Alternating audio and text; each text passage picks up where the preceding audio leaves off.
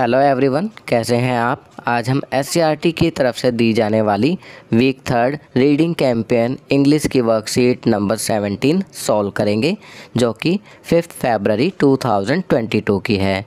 बच्चों, ये worksheet class one students के लिए है।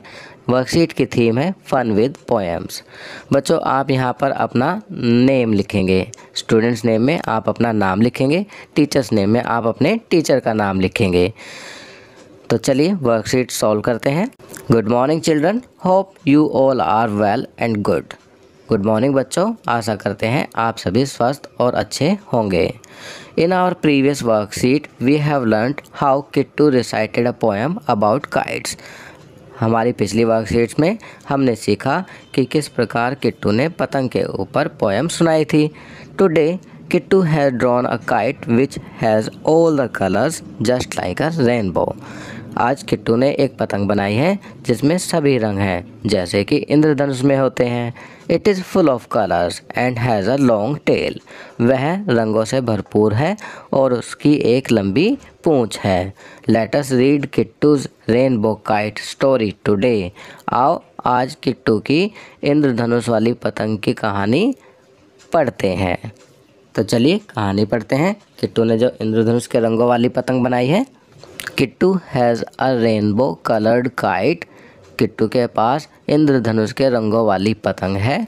वन डे, एक दिन, द विंड वॉज़ ब्लोइंग।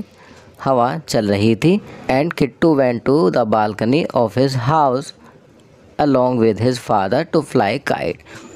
और किट्टू अपने घर की बालकनी में अपने पापा के साथ गया पतंग उड़ाने के लिए।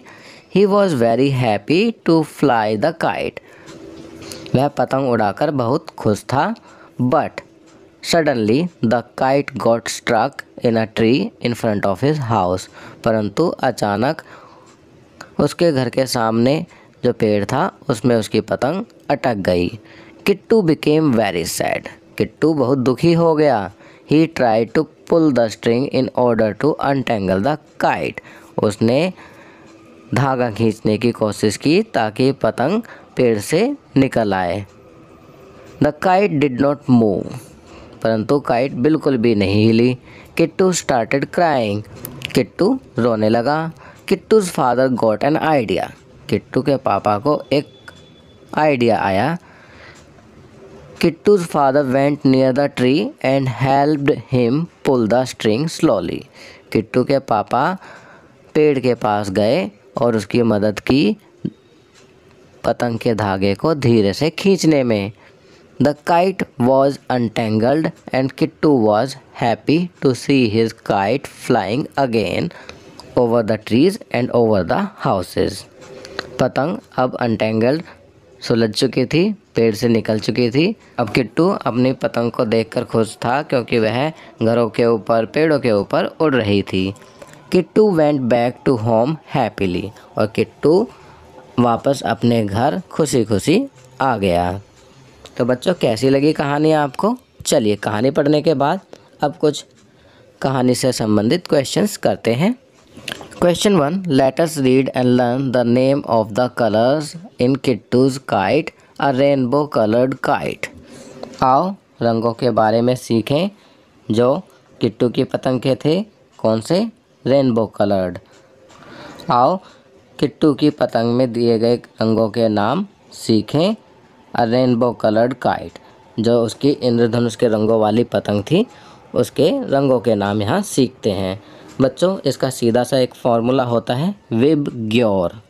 वी से वायलेट आई से इंडिगो बी से ब्लू जी से ग्रीन वाई से येलो ओ से ऑरेंज और आर से रेड तो यहाँ पर कलर दिए गए हैं और उनके नाम भी लिखे हुए हैं। सेकंड करते हैं। I am sure you must be excited to draw a kite in your notebooks मुझे विश्वास है कि आप सभी बहुत एक्साइटेड हो रहे होंगे अपनी नोटबुक में पतंग का चित्र बनाने के लिए.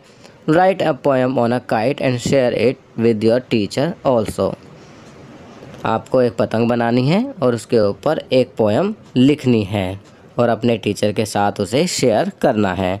तो बच्चों, आप एक पतंग ड्रॉ करेंगे काइट ड्रॉ करेंगे, उसमें कलर करेंगे और उसके ऊपर एक कविता पोएम लिखेंगे और उसे आप सुनाएँगे रिकॉर्ड करेंगे और अपने टीचर को भेजेंगे।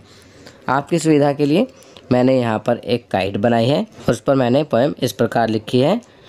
Flip flap flip flap rises my kite up and up up and up in the sky flip flap flip flap goes my kite sometimes to my left, sometimes to my right.